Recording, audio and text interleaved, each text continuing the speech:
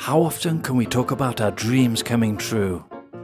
12 very fortunate participants can say their dream really did come true, thanks to the Big Cola promotion. Winner Giraffe. The Giraffe Centre, situated in Nairobi, the capital of Kenya, was chosen as the location for the most magical moment of the trip, where the winners adopted their very own giraffes, thus fulfilling their dream.